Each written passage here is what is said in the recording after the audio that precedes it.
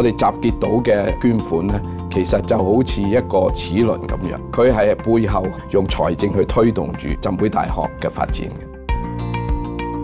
我哋發覺咧，越嚟越多嘅朋友咧係認同我哋嘅全人教育嘅理念。其實每一個捐款人都有佢背後一啲理念，但其實大部分咧係認為佢哋係投資緊未來，因為浸會大學將來訓練出嚟嘅社會精英咧，其實係可以幫社會做好多嘢。香港浸會大學基金自二零零九年成立以嚟，已籌得超過港幣十一億元嘅捐獻同配對補助金。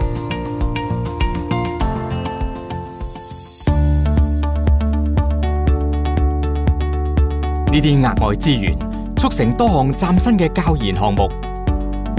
例如透過多個講座教授席，以及傑出客座教授計劃，由世界頂尖嘅學者激發學生創意及帶領研究。另一方面，校園國際化亦係香港浸會大學基金重點支持嘅範疇。普立兹新聞獎得主工作坊、國際作家工作坊等計劃，將世界各地最新學術、文化或業界資訊帶進校園。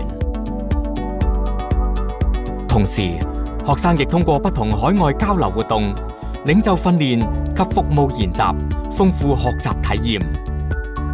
另外，二零一四至二零一五年嘅財政年度，浸大收到大約四千萬港元嘅捐款，支持過千項獎助學金，合共有一千五百名學生受惠。和夫慈善基金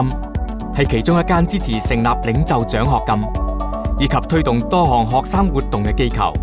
我自己對嗰個啊浸會大學理念咧就好支持嘅，佢哋好重视全人發展，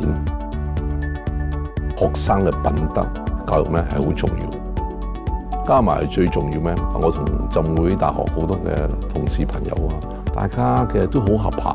大家好有心，所以大家有心人可以走埋一齊，係對我嚟講係一個感恩嚟。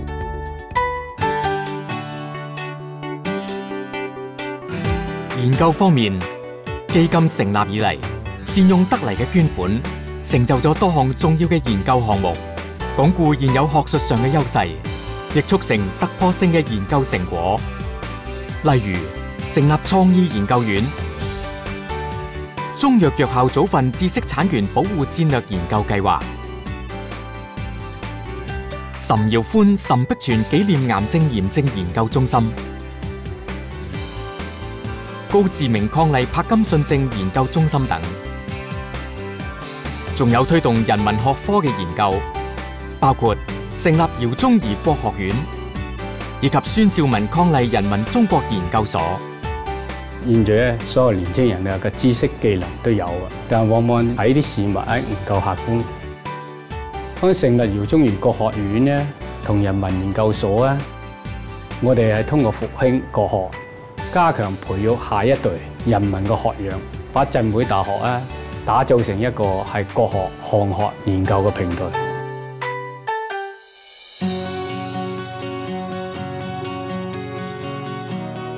浸大喺傳授專業知識同技能之外，亦重視學生喺思維、文化、社交同體育方面嘅培育，配合三三四學制嘅推行。浸大展開咗校園總體發展規劃，擴建以及優化校園環境。喺基金嘅支持下，為校園增添咗唔少新嘅教學及康體設施，例如興建賽馬會影視製作間、學習共享空間、增陳式如會堂。劉佐德伉儷多用途會堂、國中寶芬女士康體文娱中心等，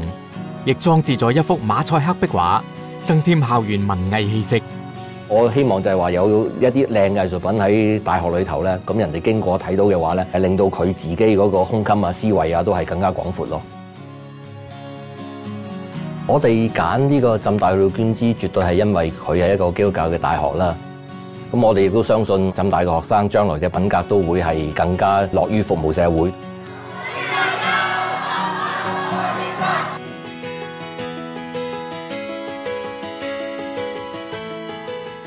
香港浸會大學基金亦都支持大學多項服務社會嘅計劃，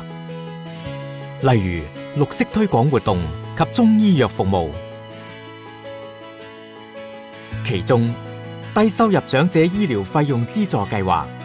资助贫病嘅长者接受中医诊治。Hong Kong is an affluent society. The environment is very prosperous, but everywhere there are people in need. So I think people in need must be helped if you can. Actually, we simply want to make uh, something socially valuable uh, to, in a certain way, to reciprocate uh, what we have received from the society.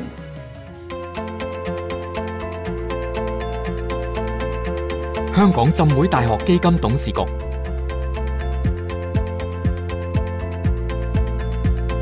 以及轄下嘅企業家委員會同校友委員會，致力凝聚各界人士，擴闊大學嘅社會網絡。基金已定下目標，每年至少籌措港幣一億元，推動浸大各領域嘅發展。若果要再進一步提升教研，必須要有更多嘅資助。譬如我哋係有啲工程想做，其實個銀碼係相當大嘅。大學要有不斷嘅捐獻咧，咁先至可以支持到我哋要想做嘅項目，就係個宿舍、中醫嘅教學醫院。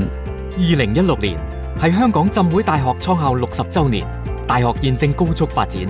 此次成為亞洲區內最優秀嘅博雅教育學府，以研究為主導，國際化為目標。我覺得香港會成為亞洲一個高等教育嘅樞紐，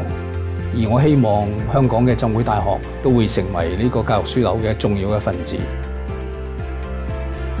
我希望我哋大學畢業生有國際視野、有國際經驗、有創新嘅思維、有社會嘅責任，成為世界上一個有用嘅公民，推動社會嘅發展。